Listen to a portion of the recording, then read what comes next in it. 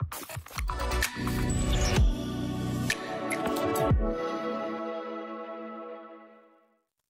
assalomu alaykum demak brandface ssenariy syomka ritorika kursining uchinchi darsiga ham yetib keldik va bu darsda biz video kontent turlarini o'tamiz.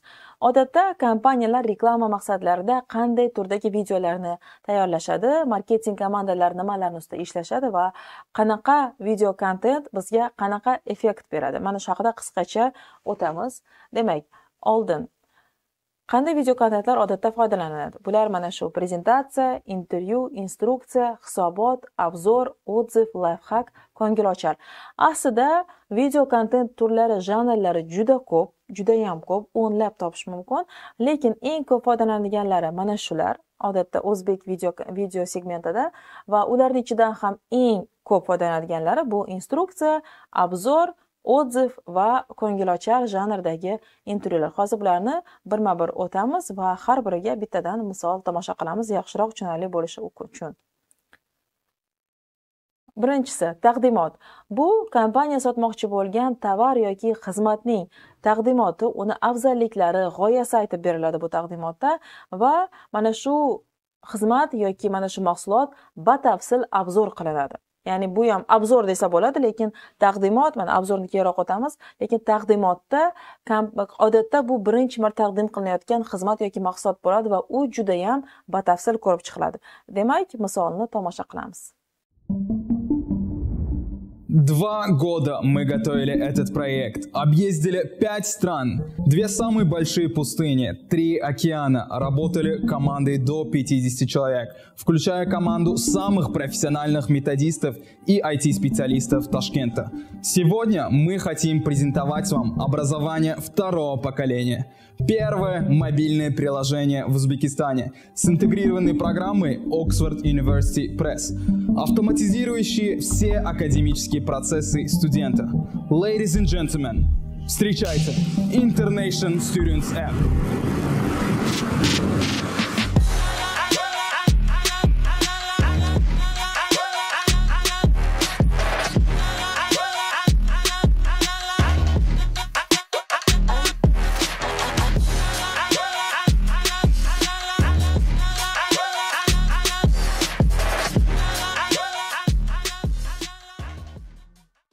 Bu misolda international schoolni aynan mobil ilovasini taqdimoti bo'lyapti.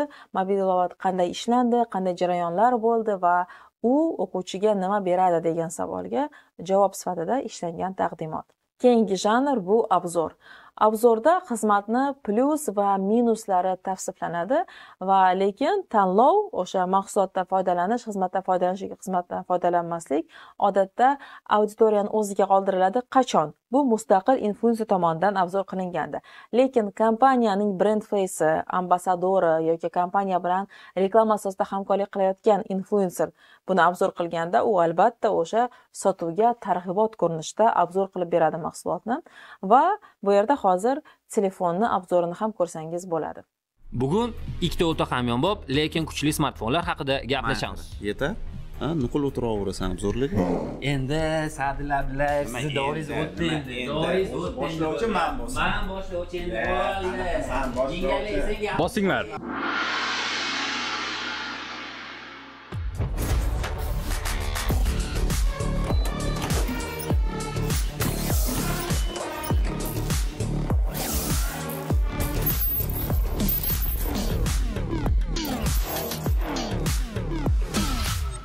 xullas sadi aka va fariz aka boshlovchilik o'rnini bo'lisholmay urushib ketishdi. Ular jangni tugatguncha man sizlarga bular haqida aytib beraman. Ey ey işte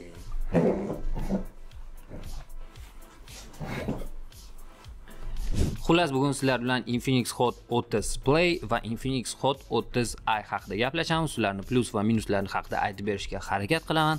Testlar o'tkazamiz va albatta oxirida narxini ayt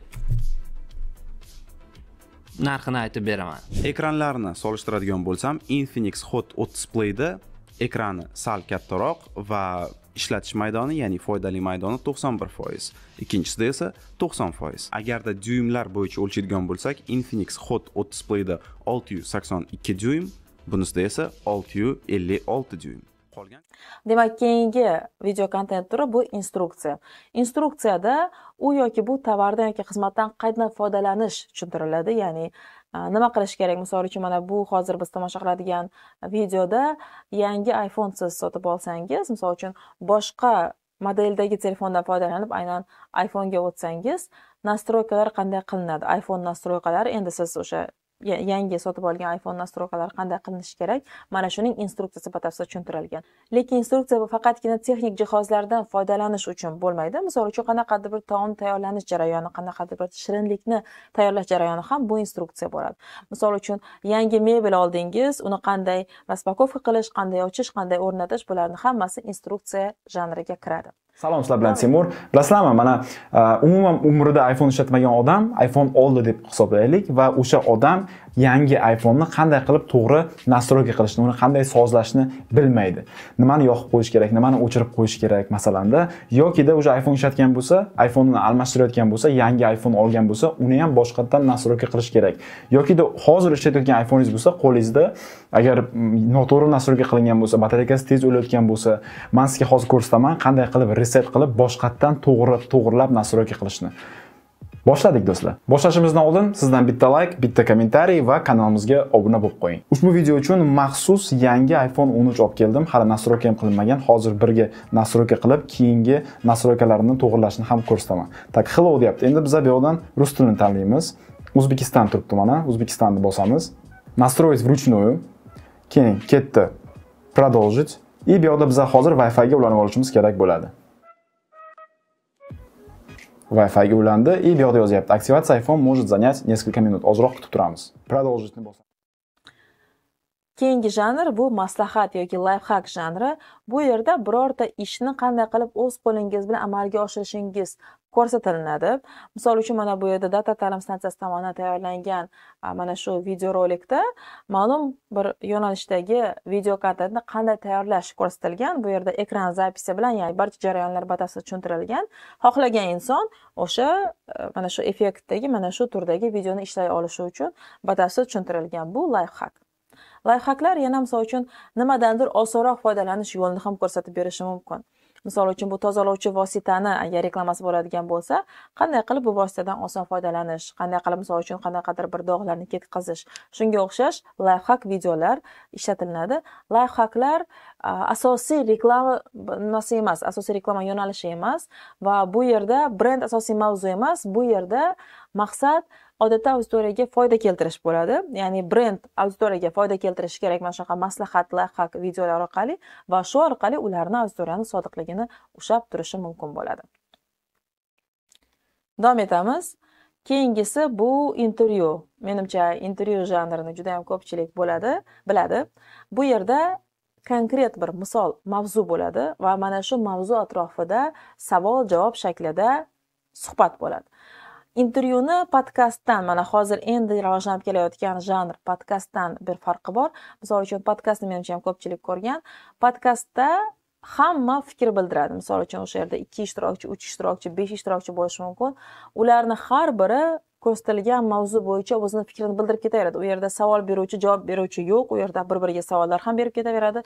Javobni ham o'zini fikrini ham aytaveradi va podkastda ma'lum bir mavzu bo'lishi ham shart emas. Ya'ni xohlagan o'tirib uch to'rtta odam xohlagan mavzusida gaplashishi ham mumkin mavzu bo'lishi ham mumkin bo'lmasligi ham mumkin. Lekin intervyuda odatda aniq bir yo'nalish aniq bir mavzu bo'ladi va bir taraf savol berguvchi ikkinchi taraf esa o'sha savolga javob beruvchi bo'ladi. Osmono'par binoni muallifi. Agar man buni bunaqa qiyinligini bilganimda bu paytda boshlamasdim. Sizni fantaziyasi boy inson deyman. Uzr lekin man unaqa emasman. Manga farqi yo'q aytdimku. O'zimni o'zim hurmat qilmay qo'ygan kunim sinaman shavkat miromonovich bilan gaplashgim keladi. Qiyin lekin bitta yangi shahar barpo qilaylik deb aytib ko'rardim. Lekin hozir kamroq gapirishga o'rganyapman tarix bizani birlashtiradi. Davom etamiz. Keyingisi bu отзыв hozirda barcha kompaniyalar barcha brendlar o'zini mahsuloti haqida odzivlarni albatta foydalanadi va albatta ular o'sha ijtimoiy tarmoqlarda yoki boshqa joylarda joylanadi. Odzivlar odziv nima uchun kerak? Biz shunchaki reklamaga ishonmasligimiz mumkin. Shunchaki nimanidir ko'rsatayotganda qaysidir xizmatni yoki mahsulotni ko'rsatayotganda biz unga ishonmaymiz. Chunki chunki bu reklama biz reklamaga ishonmaslikka o'rganganmiz. Lekin uni kimdir tavsiya qilsa rostdan o'sha mahsulotdan o'sha xizmatdan foydalangan inson buni tavsiya qilsa unga ishonishimiz osonroq. Ya'ni biz insonlarga ko'proq ishonamiz reklamaga qaraganda ayniqsa uni kimdir bizga yaqinimiz kelib tavsiya qilsaku biz yuz foiz ishonamiz. Lekin aynan mana shunaqa video intervyu turidagi mana shunaqa obzorlar ham yaxshi effekt beradi auditoriyani ishonchini oshirish uchun. Ya'ni rostdan ham sizni ko'rsatayotgan xizmatingiz sifatli rostdan ham sizni chiqarayotgan mahsulotingiz sifatli degan narsani aynan real foydalangan insonlarning odzivlari isbotlashga yordam beradi. Demak hozir ushbu odzivni ham tomosha qilsak bo'ladi. Data ta'lim stansiyasiga kelish ikki uch yillik orzuyim edi fotoapparatni qo'lima ushlab ham ko'rmagan edim o'zimni yoqqan o'zim qiziqqan soha bo'lgani uchun qiyinchilik bir amaliyotni o'zimda o'tib ketdi mani ismim rozima mohira ayni damda data ta'lim stansiyasi tmm kursi o'quvchisiman Э, hozir oxirgi uchinchi oylikdamiz. Xudo xohlasa yaqinda bizada imtihon bo'lib o'tadi. Э, data ta'lim stansiyasiga kelish ikki uch yillik orzu edi boshida ushalish э, qiyin orzu bo'lib tuyulgan manga. Uning uchun e, qandaydir bir odamda qobiliyat bo'lishi kerak intellekt bo'lishi kerak deb o'ylaydim bu yerga kelib e, shuni tushundimki e, inson o'zini bor qobiliyatini yanada yuksaltirishini tushunib yetdim. Davom etamiz. Keyingisi bu hisobot. Bu yerda kompaniyaning hisobot bu. To'g'ri o'zi o'z nomi bilan hisobot. Bu yerda kompaniyaning ma'lum bir muddat ichida erishgan yutuqlari amalga oshirgan ishlari haqida ma'lumot beriladi. Odatda u raqamlarda beriladi. Biz misol uchun mana shunaqa payt ichida mana shuncha mahsulot chiqardik mana shuncha xizmat ko'rsatdik mana shuncha foyda keltirdik mana shuncha insonni og'irini yengil qildik degan ma'noda odatda bu bir yillik hisobotlar bo'ladi. Besh yillik o'n yillik bo'lishi mumkin lekin ko'pincha kompaniyalar bir yil davomida erishgan narsalarni hisobot qilib chiqarishadi.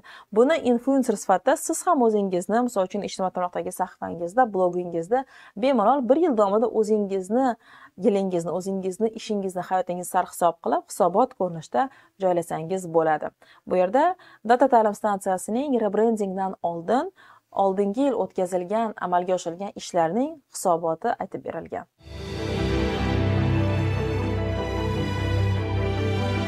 Birgina 2022 yilning o'zida biz 13718 ta dars o'tkazdik va bizning kurslarimizda 1300 dan ortiq o'quvchi tahsil olishdi. Data ish kanalimizda o'quvchilarimiz uchun 2400 ta vakansiya e'lon qilindi. O'quvchilarimizga taqdim etilgan 100, 50, 30, 20 va 10 foizlik chegirmalar summasi yillik 293 million so'mni tashkil etdi. Datani kengaytirish uchun 4 milliard so'mdan ortiq mablag' grant sifatida jalb qilindi. Ta'lim jarayonlarini yaxshilash uchun 300 tadan ortiq yangi texnikalar xarid qilindi. 2022 yilda Data English kurslari yo'lga qo'yilib, o'quvchilarimiz allaqachon IELTS sertifikatlarini qo'lga kiritishni boshlashdi. Ijtimoiy tarmoqlarda bizning 50 ming nafardan ortiq insonlar kuzatdi. Ko'rishlar soni 2,5 milliondan oshdi. O'quvchilarimizning 300 taga yaqin intervyusi sahifalarimizga joylashtirildi. Data Portfolio kanaliga esa o'quvchilar tomonidan ishlangan 500 tadan ortiq amaliy ishlar joylandi. 2022 yilda biz ta'lim bo'limiga alohida e'tibor qaratdik va o'quvchi roziligiga erishish uchun yangi strategiya ishlab chiqdik. Xodimlarimiz soni ikki barobarga oshdi va mijozlarga xizmat ko'rsatish sifati yangi darajaga olib chiqildi. Markaz hududi kengaytirildi. Zamonaviy jihozlangan xonlar soni esa ikki barobarga ortdi. Davom etamiz. Ko'ngilochar kontent bu hozirda eng uchayotgan kontent ya'ni eng ko'p layklarga eng ko'p repostlarga va eng ko'p tomosha qilishlarga sazovor bo'layotgan kontent turi hozir mana shu reklamani tomosha qilamiz keyin esa u haqida ozgina gaplashamiz savdolashing savdolashing savdolashing shing shing savdolashing shing shing savdolashing shing shing savdolashing shing shing savdolashing shing shing shing shing savdolashing shing shing shing shing savdolashing shing shing shing shing savdolashing shing shing shing shing savdolashing savdolashing media parkda savdolashib texnikalarni arzon narxga oling. Mana tomosha qilgan bo'lsangiz bu yerda nima uchun e'tibor bering nima uchun aynan qo'shiq ko'rinishida reklama qilingan? Chunki qo'shiq odatda insonni xayoliga singib qolishi miyasiga o'rnashib qolishi oson bo'ladi. Odatda misol uchun ertalab qanaqadir qo'shiq eshitsangiz kun bo'yicha qo'shiq xayolingizda aylanib yurishi mumkin. Va bu yerda ham o'sha savdolashing degan so'zni oddiy qilib ham aytsa bo'lardi. Lekin aynan qo'shiq ko'rinishida aytilgani uchun u insonni xayoliga o'rnashib qoladi. Va bu yerda e'tibor bersangiz aynan o'sha media parkni xaridorlari kimlar bo'lishi mumkin degan savolga ham kadr ortishni bilintirmasdan javob berib ketilgan bu yerda hamma bor ya'ni uy bekalari bor influenserlar ham bor hattoki studentlar bor hamma ko'rsatilgan kadrda tiktokerlar bor va ularni mana shu hamma mana shu media parkni mahsulotlaridan xizmatlaridan foydalanishi mumkin degan ma'nodagi videorolik bo'lgan va ko'ngilochar bo'lganligi uchun ham uni ko'rish oson uni pozitsiyalari ko'p bo'ladi uni tomosha qilishlar soni ko'p bo'ladi va bu brendni yana ham tanitishga yordam beradi. Mavzuyimiz mana shulardan iborat edi. Albatta biz yana bir katta janr storytelling mavzusini biz keyingi yana alohida mavzu qilib o'tamiz. Lekin mana shu hozir biz o'tgan janrlarni ichida mana sakkizta janrni o'tdik ularni ichida boya aytib o'tganimdek aynan instruksiya obzor отзыв ko'ngilochar janri eng ko'p foydalanadi va ular eng reklama jihatdan brend tanitish jihatdan eng aktuallari eng yaxshi ishlaydiganlari hisoblanadi. E'tiboringiz uchun rahmat. thank you